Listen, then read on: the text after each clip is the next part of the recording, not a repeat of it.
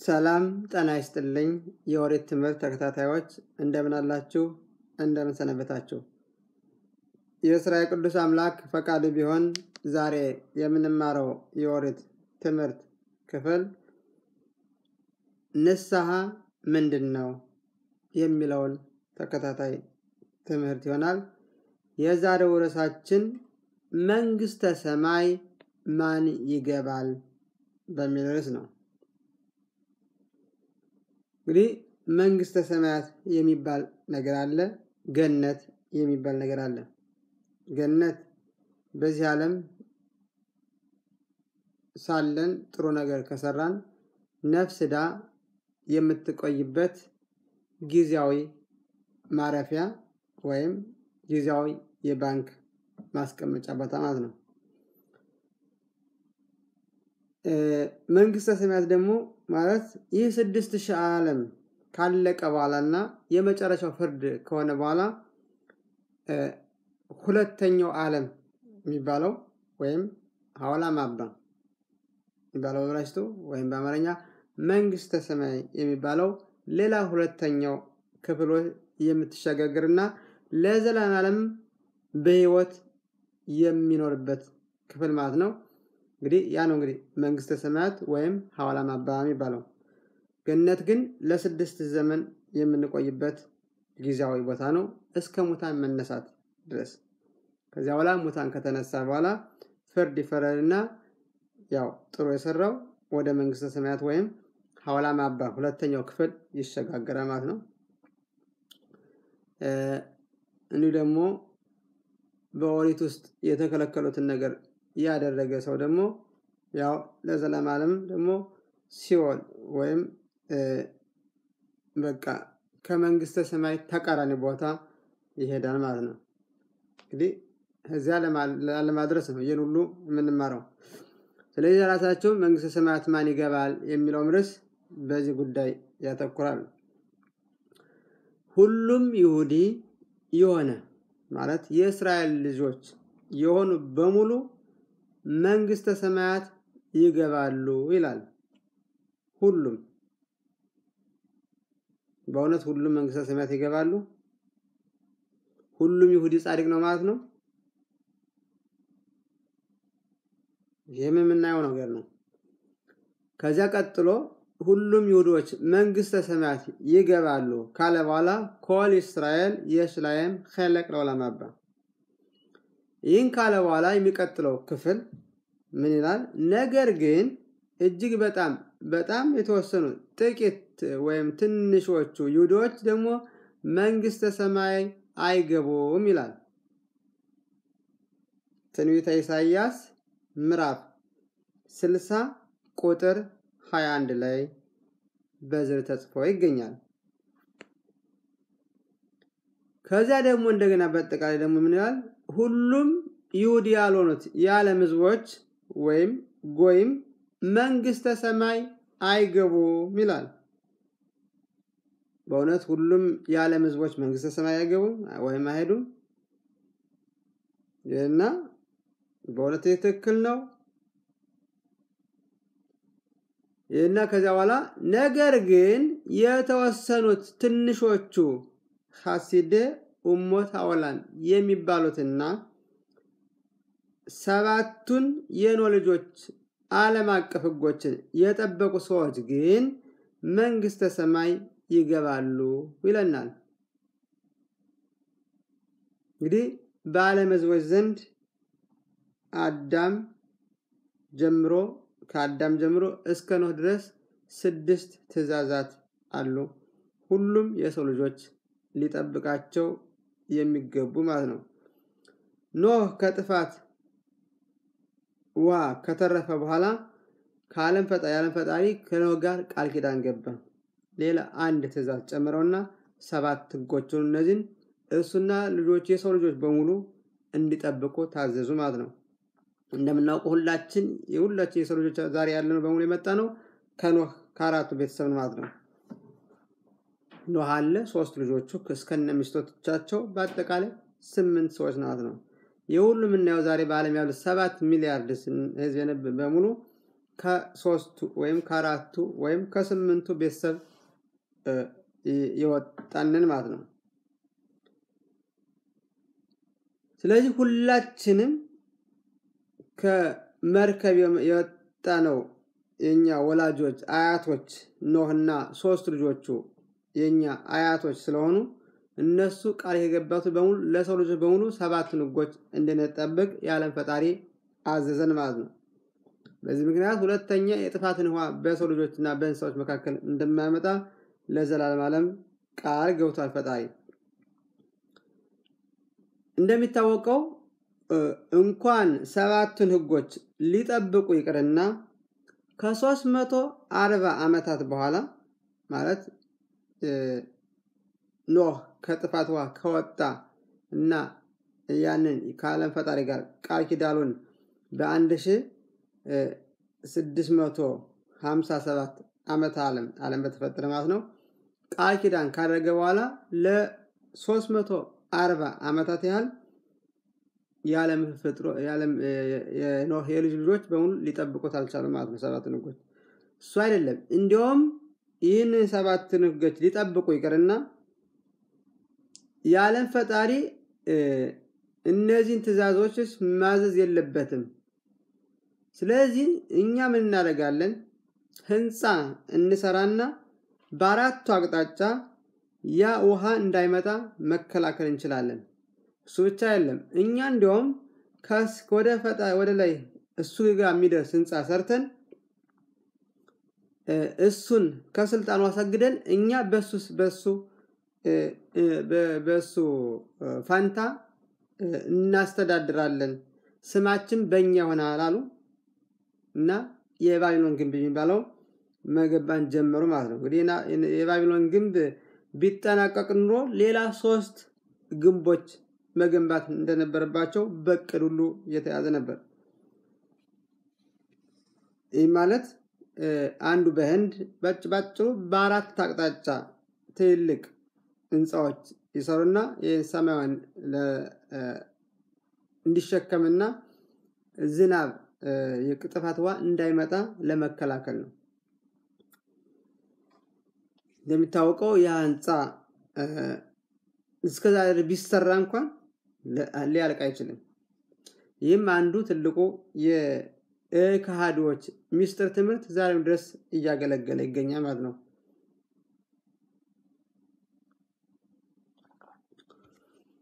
ከዚያ ከባቢሎን ግንብ ጀምሮ የመጣው ፍልስፍና ዛሬም ድረስ አለ።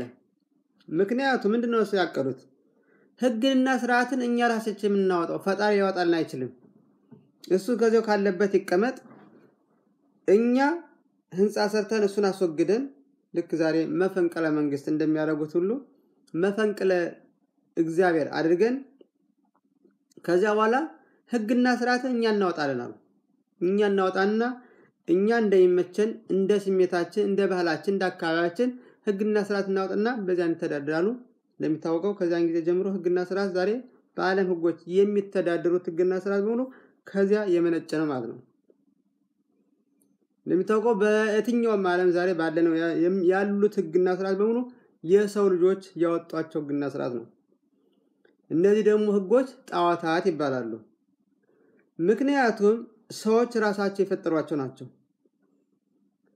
ሰው ፍጡር ሆኖ እያለ እሱ ታዞ እሱ የታዘዘውን በማድረግ ፈንታ እሱ ለራሱ ሌላ ኃይል ይፈጠረ ማለት ነው። ኃይሎች እነዚህ ማለት ነው ህጎች፣ ፍልስፍና፣ ዩኒቨርሲቲዎች በሙሉ እነዚህ በሙሉ የተፈለሰፉት ከዚያ ውስጥ የመጡ ናቸው ማለት ነው። ከዚያ በሙሉ ምንድን ያለው? ለዓለም ሁሉ ፈጣሪ የለውም። ከዚያ ቆይቶ ደግሞ ሰው የተፈጠረው ከዝንጀሮ ነው። በቃ ለምን ሁሉም ነገር እኛ እንድናደርግ ስላሰቡ ማለት ነው የሰው ልጅ ማለት ነው። ስለዚህ ማን ሆነ ማለት ነው እንደሚታወቀው ህጎች በሙሉ ከባቢሎን ግንብ ጀምሮ እስከ ዛሬ ድረስ ያሉት ህጋት በሙሉ ሰዎች የሚያወጧቸው የስሜት ህግ ናቸው። ያም የሚወሰነው በአንድ ሰው ብቻ ነው። ህጎች በሙሉ አንድ ሰው ያን ህግና ስርዓት የሚሰማውን ይህ ህግ ነው ይላል። ከዚያ በኋላ ለጓደኞቹ ያቀርባል። እንዲሁም ይህ ጥሩ ሀሳብ ነው ብሎ ይቀበላል።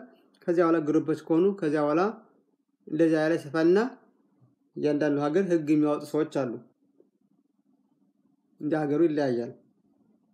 አንዳንድ ጊዜ አስር ሰዎች፣ አንዳንድ ሀያ ሰዎች፣ አንዳንድ ሰላሳ ሰዎች ልክ ዛሬ በእስራኤል ክኔሴት እንደሚባለው አንድ መቶ ሀያ ሰዎች እነዚህ እነዚህ ሰዎች ይሰበሰቡና የግላቸውን የልብ ስሜት ህግና ስርዓት አድርገው ያወጡትና እኛ እንድንቀበል የእነሱን የግል ሀሳብ እኛ ደግሞ ህግ ነው ብለው እንድንቀበል ያስገድዱናል ማለት ነው። ይህ ሁሉ የመጣው ከዚያ ከባቢሎን ግንብ ሀሳብ ነው ማለት ነው። ስለዚህ ከዚያን ጊዜ ጀምሮ እነዚህ የዓለም መንግስታት ማነው የዓለም ህዝቦች በሙሉ ፈጣሪን ወደ ጎን በመተው ራሳቸው በራሳቸው በሚያወጡት ህግና ስርዓት የሚተዳደሩ ዛሬም ድረስ ማለት ነው። በኢትዮጵያም እንደዚያው ነው። በአሜሪካም ያው ነው። ዛሬ በእስራኤልም መዲናት እስራኤል የምትባለው ህግና ስርዓትም አንድ ነው። ምንም ልዩነት የለውም። ስለዚህ እነዚህ ሰዎች በዚህ በሰባቱ ህግና ስርዓት ካልሄዱ መንግስተ ሰማያት አይገቡም የሚለን ለዚህ ነው። ነገር ግን ከነዚህ ከዓለም ህዝቦች መካከል ብልህ የሆነና አዋቂ ነገሮችን ሁሉ ወደኋላ ታሪክ መርምሮ ጠይቆ ከተረዳና ካወቀ በኋላ ከዚያም እነዚህን ሰባቱን የኖህ ልጆች ህጎች ከአይሁዳውያን የቶራ ሊቃውንቶች ተምሮ ከተቀበለ እና እነዚህን ህጎች ከጠበቀ መንግስተ ሰማያት ይገባል የሚለን ይህን ነው ማለት ነው። ምክንያቱም የዓለም ፈጣሪ ያዘዘው እነዚህን ሰባቱን ህጎች ብቻ ነው ለሰው ልጆች። ሌሎች ህጎችን በሙሉ አላዘዘም። ሃይማኖቶችንም በኋላ የመጡ ናቸው። በዚህ ውስጥ አይካተቱም ማለት ነው። አይካተቱም። የዓለም ፈጣሪ ከዓለም ህዝቦች የሚጠብቀውና መልእክት ያለው መሲሁን ሲመጣ የሚቀበሉትም እነዚህን ሰባቱን ህጎች ብቻ ማለት ነው። እነዚህ ናቸው ናቸው ለዓለም ህዝቦች በአይሁዳውያንኛ אור לגויים ወይም እኛ ለዓለም ብርሃን ለዓለም ህዝቦች ብርሃን እንሆናለን ወይም ነን የምንለው እነዚህን ሰባቱን ህጎች ከኛ ከእስራኤላውያን የቶራ ሊቃውንቶች ተምረው ሲጠብቁና ሲያደርጉ ነው ይለናል። ስለዚህ ወደፊት መሲሁ ሲመጣ እያንዳንዱ ይሁዲ ያልሆነ በሙሉ እነዚህን ሰባቱን ህጎች ከአይሁዳውያን የኦሪት ሊቃውንቶች ይማራል ማለት ነው። ይህም ወደፊት ይሆናል። በኢሳይያስ ምዕራፍ ሁለት ቁጥር ሶስት ላይ ተጽፎ ይገኛል። ሌላም ብዙ ቦታዎች አሉ። እነዚህን የጠበቁ መንግስተ ሰማያት ይገባሉ የሚለው እነዚህን ነው። እነዚህን ያልጠበቁ ግን መንግስተ ሰማያት አይገቡም የሚለው እነዚያ ነው። መንግስተ ሰማያት እያለ ምንድን ነው? የስድስት ሺህ ዓለም ከተፈጠረ በኋላ ሁለተኛው ክፍል ማለት ነው። ወደዚያ አይሄዱም ይላል። ይህም ምሽና ሰናሃድሪን ምዕራፍ 10 ኢልሆት ትሹባ ራምባም ፔረክ 3 ወይም ምዕራፍ 3 ቁጥር 14 ላይ እንዲሁም የባቢሎን ታልሙድ ግማራ ሰናሃድሪን ምዕራፍ 99 ቁጥር 1 ላይ በዝርዝር ጽፎ ይገኛል። እንግዲህ የዓለም ህዝቦች ማድረግ የሚጠብቃቸው የሚጠብቅባቸውና የዓለም ፈጣሪ ያዛቸው እነዚህን ሰባቱን የኖህ ልጆች ህጎች ብቻ ነው። እነዚህን ሲጠብቁ በአይሁዳውያን ሊቃውንቶች ልዩ ስም አላቸው። እነዚህ ሀሲዴ ኡሞታ ኦላም ይባላሉ። በኖርማሉ ደግሞ አጠራር ደግሞ የኖህ ልጆች ይባላሉ።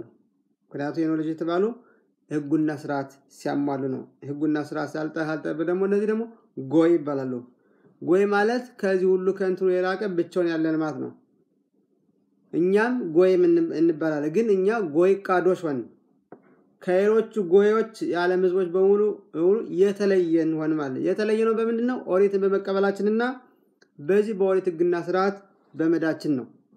ያለሉትም ደግሞ በኦሪትና ህግና ስርዓት ደግሞ የማይሄዱት ደግሞ መጀመሪያ እንደተማር ነው መንግስተ ሰማያት አይገቡም ይለናል ማለት ነው።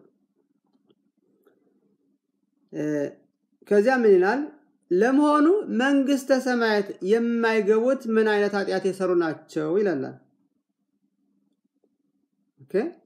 መንግስተ ሰማያት የማይገቡት ሰዎች ከዚህ በታች ባጭሩ የተዘረዘሩትን ክፉ ስራ የሰሩና ወደፊትም በዚህ ክፉ ስራ የተሰማሩና የሰሩ ሰዎች ናቸው ይለናል። እነዚህንም እናያለን።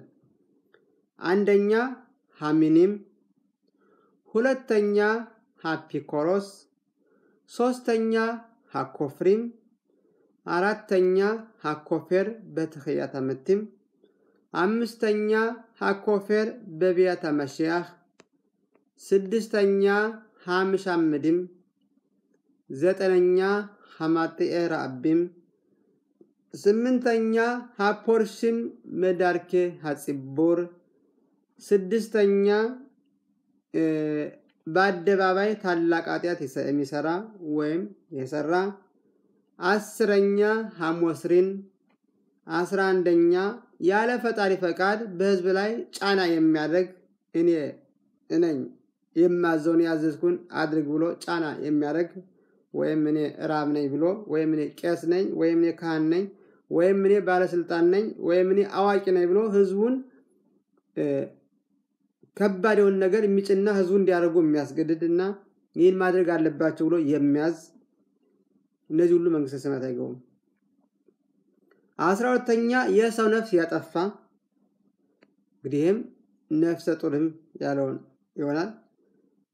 አስራ ሶስተኛ ክፉ ወሬ ወይም ላሾን ሀራ የሚያወራ በሰው ልጆች ላይ በሌላ ሰው ላይ መጥፎ ነገር የሚያወራና ያን ሰው እንዲጎዳ የሚያደርግ። አስራ አራተኛ ሐሞሸ ሆርላቶ ወይም በመገረዙ ወይም ብሪት ሚላ በማድረጉ የሚያፍርና የሚሸፍን ሲሆኑ እነዚህ ከላይ በስም ዝርዝር የተጠቀሱት አይነት ሰዎች ሁሉ መንግስተ ሰማያት አይገቡም ይላል። ነፍሳቸውም ከእስራኤል ሕዝብ መካከል ዘንድ ተለይታ ለዘላለም ዓለም ተቆርጣ ትጠፋለች ይለናል። ይህም ራምባም ሂልኮት ሹባ ምዕራፍ 3 ቁጥር 6 ላይ በዝርዝር ተጽፎ ይገኛል። እዚያ በኋላ ዝርዝሮች አሉ። ዝርዝራቸውን ሌላ ቀን የምናያቸው ይሆናል። እንግዲህ እነዚህ አይነት ይሁዲዎች መንግስተ ሰማያት አይገቡም ይለናል ማለት ነው። እንደሚታወቀው የዓለም ፈጣሪ ይህንን ህግና ስርዓት ሲሰጠን ምርጫ ሰጥቶናል። ወባኻርታ በኻይም ላኽም ኤታ በረኻ ቫክላላ ቤት አቶብ በየታማ ቤት ጥሩን በረከቱና እርግማኑን መጥፎውንና ጥሩውን ህይወትንና ሞትን በእናንተ ፊት አስቀምጭላችኋለሁ። እናንተ ግን ህይወትን ምረጡ በማለት ነግሮናል። ይህ ማለት ሙሉ በሙሉ ነፃ ምርጫ አለን ማለት ነው። ሁላችን የሰው ልጆች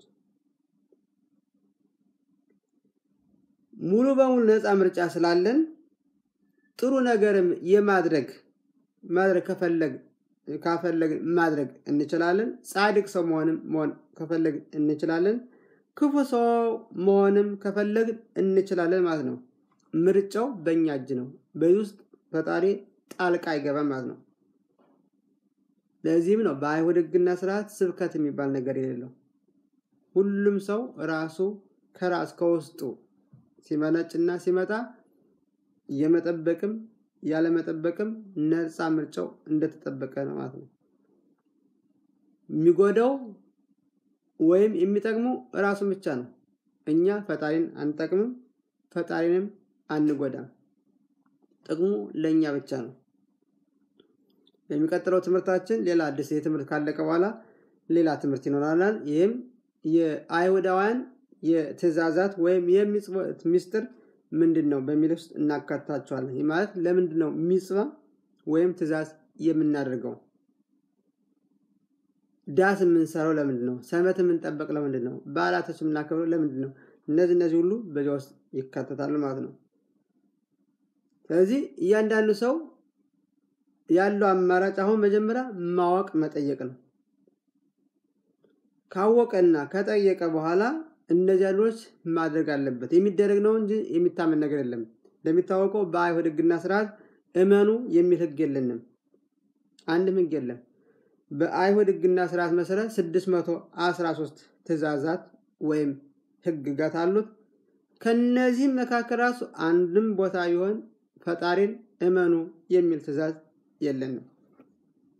ያለ ሙሴም ኦሪትን ሲቀበል ያስተማረን እኛ አኔ ላምደትከም ለአሶት ነው። እኛ የምንማረው ለማድረግ ነው። ካላደረግን ግን ደግሞ ብንማረው ዜሮ ነው። ምንም ትርጉም የለውም። ስለዚህ መጀመሪያኛ እንማራለን እንዴት መደረግ እንዳለበት። ከዚያ በኋላ ወደ ተግባር እንሄዳለን ማለት ነው። በተግባር ደግሞ የሚደረጉ ብዙ ነገሮች አሉ። ስለዚህ በተግባር እንዴት ነው የሚደረግ ያ ነገር? ስለዚህ ካደረጉ ሰዎች ቀጥታ እንማራለን ማለት ነው። በዚህም ነው በአይሁድ ሕግና ስርዓት መሰረት አንድ ተማሪ የአይሁድ ተማሪ የሚማረው ቀጥታ ከመምህሩ ነው። እንዲሁ ከመጽሐፍ ብቻ መማር አይቻልም። አሁን የኦሪትን ክፍል ማንኛውም የኦሪት ክፍል ከፍተን ብናነበው እኛ ምን ለማለት እንደሆነ አንረዳም። ነገር ግን ያ ወይም የኦሪት ሊቅ የተማረው የተቀበለውን ይሄ ማለት ይህ ማለት ነው የሚደረገውም እንደዚህ እንደዚህ ነው ብሎ በተግባር ሲያሳየን እኛ በተግባር ለማድረግ ይቀለናል ማለት ነው። በዚህ አይነት ነው የምንማረው። አለበዚያ ግን እኔ መጽሐፉን ከፍቼ አነበብኩትና ተረዳሁት ማለት የራሴን የግል ሀሳብና ፍላጎት ከዚያ ውስጥ አለበስኩት ማለት ነው። ይሄ ደግሞ ኦሪት አይባልም። ኦሪት የምንቀበለው ነው እንጂ እኛ የራሳችን ሀሳብ ልክ እንደ ልብስ በላዩ ላይ የምናለብሰው ነገር አይደለም። ስለዚህ እኛ የዓለም ፈጣሪ ለሙሴ ሰጥቶታል ምን ማድረግ እንዳለብን። ሙሴ ደግሞ በዚያን ጊዜ ለነበሩ ሽማግሌዎች ወይም የኦሪት መምህራን አስተማራቸው፣ አሳያቸው። ከዚያ በኋላ እንደዚያ እንደዚያ እያለ ከእኛ እጅ ደርሷል ማለት ነው። እኛም በዚህ አይነት መንገድ ከመምህሮቻችን እንማራለን። በተግባርም ያ ነገር እንዴት መደረግ እንዳለበት ያሳዩናል። ከዚያ ደግሞ እኛ ደግሞ የተማረን ደግሞ ሌሎች እናስተምረን እናሳያለን ማለት ነው። በዚህ አይነት ነው ኦሪትን ሕግና ስርዓት የምንፈጽመው። ምክንያቱም ኦሪት የሚታመን ብቻ ሳይሆን የሚደረግ ስለሆነ ሱካ ስሩ ተብለናል። አሁን ስካ እንዴት ነው የሚሰራው? መጀመሪያ እንጨት መቆረጥ አለበት። ምን አይነት እንጨት? ብረት ነው? በምን በድንጋይ ነው የሚሰራ? አይገልጽም። ሱካ ስሩ ብሏል። ዳስ በሰባተኛው ቀን በአስራ አምስተኛው ቀን የሱኮት በዓል ይሁንላችሁ። በዚህም ቀን ዳስ ሰርታችሁ ሰባት ቀን በዳስ ቆዩ በዳስ ቆይ ይላል። ታዲያ እነዚህ ዳስ የሚሰራው ምንድን ነው? የሚሰራው ማን ነው? መቼ ነው የሚሰራው? ቀን ነው? ሌሊት ነው? ሴት ነው የሚሰራው? ወንድ ነው የሚሰራው? ልጅ ነው? አዋቂ ነው? ራብ ነው የሚሰራው ወይ ቄስ ነው? ከእንጨት ነው የሚሰራው? ከድንጋይ ነው የሚሰራው? ከብረት ነው ወይስ ከፕላስቲክ ነው? ከየት ነው? እነዚህ እነዚህ ሁሉ በዝርዝር ተጽፈው ይገኛሉ። ስለ እነዚህ ለማለት ደግሞ መምህሮቻችን ማሳየት አለበት ነው። ቁመቱ ስንት ነው? ወርዱ ስንት ነው? እነዚህ እነዚህ ሁሉ አብረው በአንድ መምህራችን የሚያሳየና እና የምንማራቸውና በተግባር የምናያቸው ማለት ነው። አለበዚያ ግን እንደዚሁ መጽሐፉን ከፍተን ብናነበው ልንረዳ አንችልም። እንዲያውም የበለጠ ያሳስተናል። ለዚህም ነው እኛ እያንዳንዱ ይሁዲ ከመምህሩ የሚማረው ዋን ምስጢር በዚህ ምክንያት ነው። አንድም ይሁዲ ያለ አስተማሪ የተማረ የለም። ያለ መምህር ካልተማረ ያ ሰው በተሳሳተ መንገድ ነው የሚሄደው። ምክንያቱም የሚያነበውና ያ የተጻፈው ነገር ምን ለማለት የሚረዳው የእሱን ራስን ሀሳብ እንጂ ያ ጽሁፉ ምን ለማለት እንደሆነ ሊረዳ አይችልም ማለት ነው። ስለዚህ መማር፣ መጠየቅ፣ ማወቅ እጅግ በጣም አስፈላጊ ነው በማለት የዛሬውን ትምህርት ከዚህ ላይ እንፈጽምና ቀጥለው ያው ተከታዩን ትምህርት እንማራለን ማለት ነው። ስላዳመጣችሁኝ አመሰግናለሁ። ባሩክ አዶናይ ለዓለም አሜን በአሜን